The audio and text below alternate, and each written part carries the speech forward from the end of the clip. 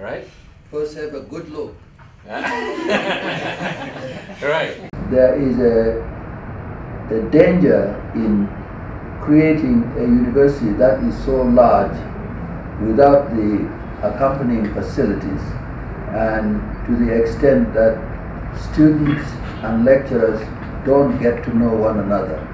And yet, the presence of lecturers and what the lecturers tell students is just as important as the private readings that students do.